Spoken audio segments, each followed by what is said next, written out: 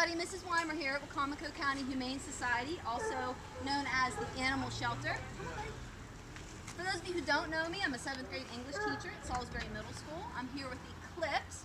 Eclipse is a three and a half year old pit bull. She's been here for about one year, and she's only one of about 25 available dogs up for adoption here at the shelter. So Eclipse and I are here to talk to you about the fundraiser that's going to be happening at your school, at Salisbury Middle School. Walking over the sign. It's called Spay in May. So for those of you who don't know what spay means, spay is an operation that is given to female dogs and cats so that they won't have any puppies or kittens. And unfortunately here at the shelter, it's almost always full because there are so many homeless dogs and cats in the area that nobody wants. So the shelter takes them in. Um, so if you spay your dogs and cats, you're really cutting down on that overpopulation and the amount of homeless dogs and cats in the area. So this focus of this fundraiser is going to be um, bringing in canned food. Canned food for the dogs and canned food for the cats. So this is just an example of a can of dog food. The shelter goes through about 15 cases of canned dog food a month.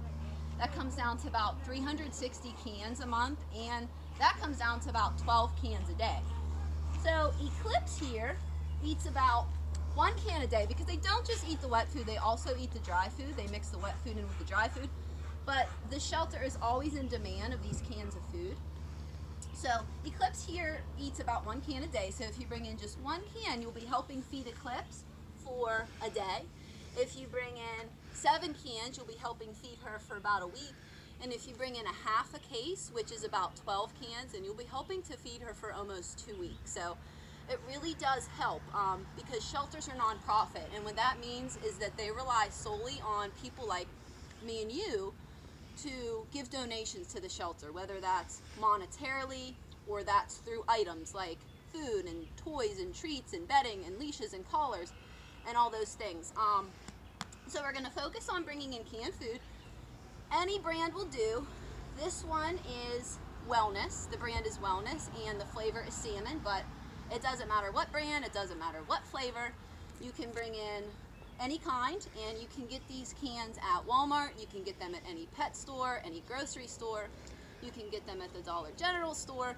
Maybe you have a can or two at home that you'd like to bring in. Whatever you can do, if you like dogs, if you like cats, because there's so many cats here without homes too.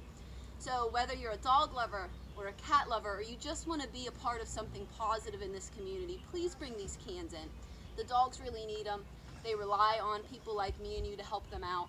Um, so please bring in the cans and um, the top two home rooms or the top two TAs that bring in the most cans of food will receive a pizza party. So that's a, some incentive for you. Um, so Eclipse here thanks you and um, all of her buddies at the shelter thank you. So please bring in those cans. Right, baby? Want a treat? Treat? Eclipse. Eclipse. Sit. Sit. That's a good girl. That's a good girl. That's a good girl.